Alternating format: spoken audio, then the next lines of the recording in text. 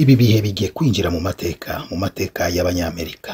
Aho umuyobozi mukuru ushinzwe kurinda eh, abayobozi aremera amakosa yabaye uwo munsi mu gihe barindaga donald trump igihe yaraswagaho.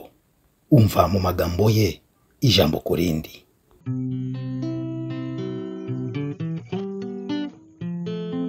Intego nyamukuru tuba dufite ni ukurinda abayobozi b'igihugu cyacu. Ariko tariki cumi n'eshatu z'uku kwa karindwi twaratsinzwe nk'umuyobozi mukuru wa serivisi sekire y'abanyamerika. Nemeye amakosa kandi ingaruka zose ndazemeye.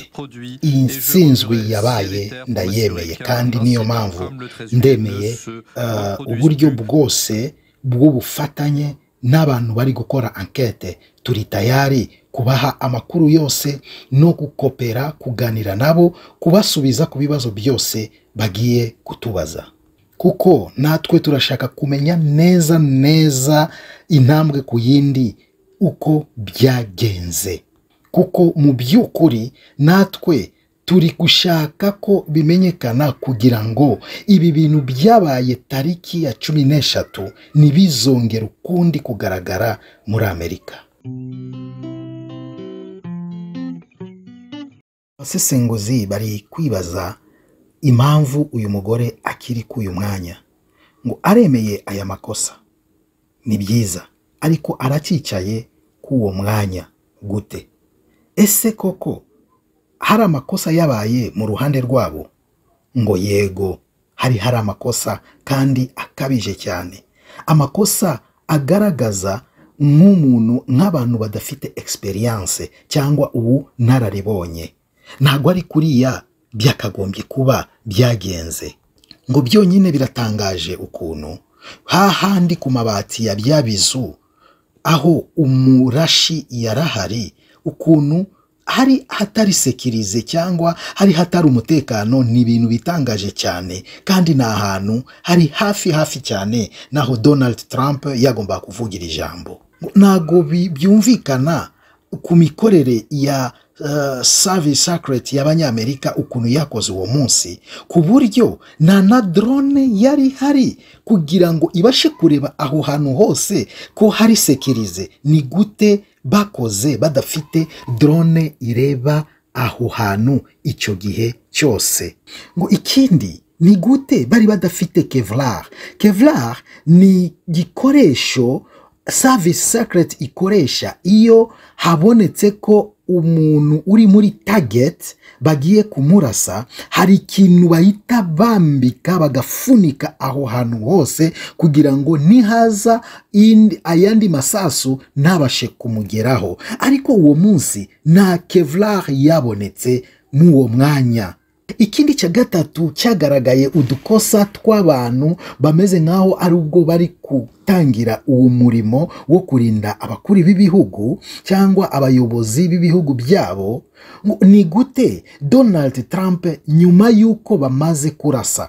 Umubiri we wakomeje kugaragara mu public cyangwa mu bantu gutyo ku buryo n'umuntu urasa iyo bari kuba ari benshi nta kabuza undi yari kumurasa akamu akamurasaho neza agapfa.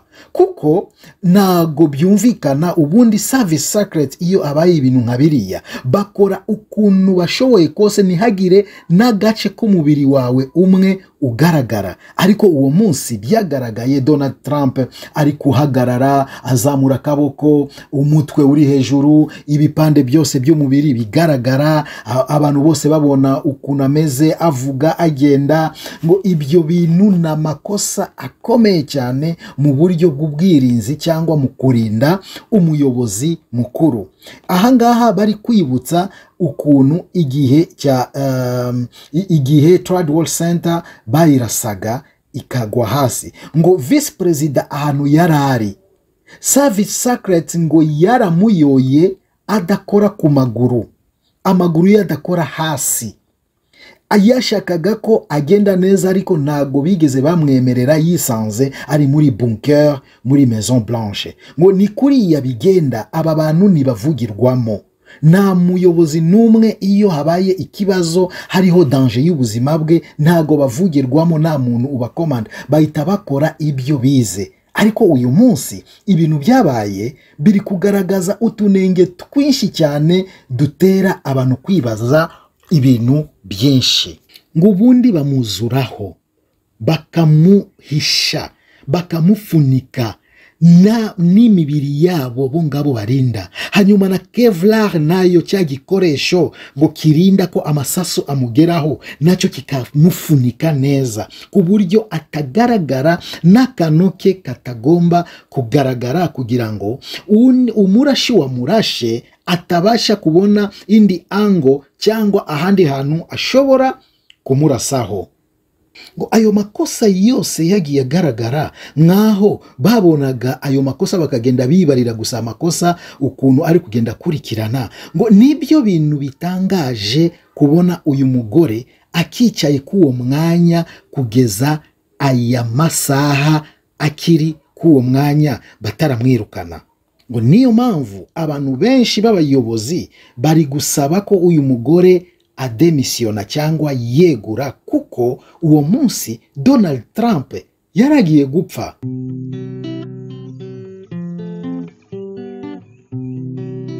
Mva bimwe na bimwe mu bibazo barimo kumuhata bamubaza agata umutwe. Kuko abademokarate n'abarepubulike biyemeje kumenya ukuri impamvu donald trump yaragiye kuraswa kuriya mu ruhame kandi service secret yari ihari aho ngaho. Yarabiteguye mbere y'igihe. Maxwell frot ati ni inshuro zingahe mwabonye amakuru ko hari umurashi ugiye kurasa trump? Mbere y'uko araswa cyangwa mbere y'isasu rya mbere. Nta mibare nyayo mfite yo gutangaza uyu munsi. Ariko amakuru mfite habayeho kominikasiyo cyangwa ku eh, kumva abantu babivuga rimwe eh, eh, ha- hagati ya rimwe na gatanu ko hari umuntu uri gukekwa uri gukekwa ko eh, ashaka kurasa. Ngo gusa icyo nababwira nyuma y'uko bamara kumuidentifiya cyangwa kumenya aho ari uwo nguwo warashe yahise araswa yahise araswa na agent ba aja bacu ba sekirite ariko ibyo ngibyo uri kutubwira ni nyuma y'uko yari amaze kurasa. Yego ibyo ni ukuri pe. Ni ukuvuga ibyo uri kutubwira nonaha ni uko service secret ntiyigeze ibona umurashi aho yari ari ku mabati mbere y'uko arasa isasu. Ayo makuru yose ntayo ntago nyafite nonaha. Iminota cumi n'itanu mbere y'uko Trump agaragara kuri tribune avuga ijambo umurashi yagaragaye ku mabati abaturage bamubona ku mabati kandi abaturage umwe mu baturage yahise abibwira umupolisi wari uri aho ngaho. Uwo murashi yabonye umwanya wo kurasa amasasu umunani yose. Mbere y'uko araswa n'umu agent wa secret service kimberly nta kintu ari gushaka gutangaza nta n'ikintu ari kuvuga. Ariko ankete iracyakomeza. Iki ni igitangaza kubona Trump atigeze yicwa. Uyu ni undi mu mambure wa chambre de representant yitwa Fallon. Ubu koko mwari kuza mugatanga raporo muvuga ngo perezida Trump yapfuye kuko hari umurashi wazamutse ku mabati koko. Ibi ngibi biteye isoni. Byakagombye kubatera isoni. Ahubwo wakagombye kuba wirukanywe ako kanya. Gusa kimberly we ibintu byo kudemisiyona ari kubabwira ko muri iki gihe nta undi muntu wakarinze umutekano neza nka we. Ibyo byose byabaye ni amakosa kandi ayo makosa azakosorwa ku buryo ntago bizongera kubaho. Gusa iki ni igisebo cyane mu mutekano w'abanyamerika. Muzi ko ibi bihugu bikomakomeye biba bimeze nk'aho biri mu makompetisiyo cyangwa mu marushanwa y'umutekano. Ubu ngubu bihaye eh, amaso cyangwa babonye imboga mu menyo nk'uko mu kinyarwanda tubivuga. Ubu isi yose ibonye ko kwa kundi bajya biyemera ngo nibo bafite umutekano uhambaye ukomeye babonye ko ni byose harimo akayunguruzo. Aho wagera ku mukuru w'igihugu buriya umuntu wahoze ari umukuru w'igihugu ni umukuru w'igihugu kuko iryo tayito ntabwo rimuvaho niyo mpamvu bakomeza kwita Trump monsieur le president rero kugera kuri perezida afite abarinzi bangana kuriya akaraswa bigaragaza umutekano ukuntu igipimo cy'umutekano mu gihugu ukuntu kiba kingana. Ahangaha ni kuri kigali line update.